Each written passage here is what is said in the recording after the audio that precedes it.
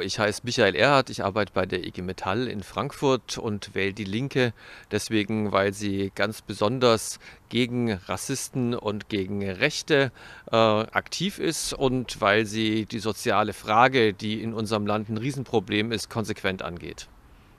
Danke. Gerne. Rechte Konzepte und rechte Parteien haben in der Vergangenheit immer schon zu Unfreiheit und sogar zu Kriegen geführt.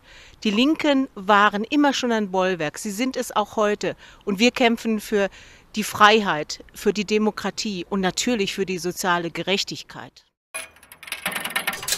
Hallo, mein Name ist Tim Dreier, ich kandidiere für die Linken zum Hessischen Landtag, weil die Linke die Partei ist, die sich dafür einsetzen wird, dass der Sanierungsstau an hessischen Schulen endlich beendet wird.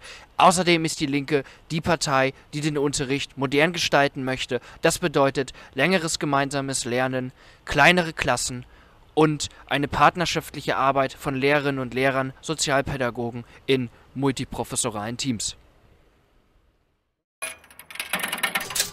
Hallo, mein Name ist Petra Heimer.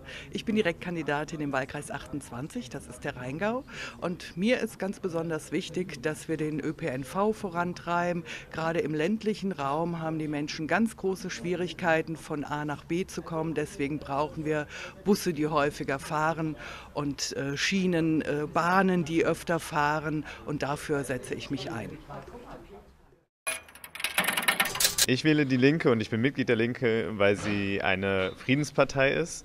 Und jetzt denken wahrscheinlich die meisten, das ist eher ein Bundesthema als für die Landtagswahl, aber das ist nicht so. Denn diese Waffen, die der Bund äh, exportiert, die werden auch bei uns in Hessen produziert. Das sind zum Beispiel die Leopard 2 Panzer, in, die in Kassel produziert werden.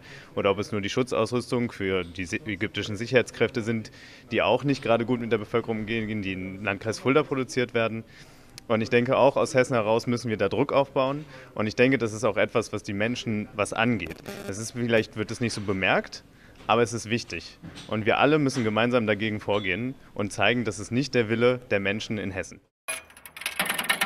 Dr. Ulrich Wilken, die Linke Frankfurt Nordend. Es gibt zum Glück eine linke Opposition in diesem Land, die gegen diese soziale Ungerechtigkeit ist, die gegen diese Mietpreisexplosion ist, die für einen sozialökologischen Umbau sind, die die Flüchtlinge retten wollen, die Flüchtlinge hier integrieren wollen. Und diese linke Opposition, die muss auch wieder im nächsten Landtag vertreten sein. Ich hoffe, ich bin dabei.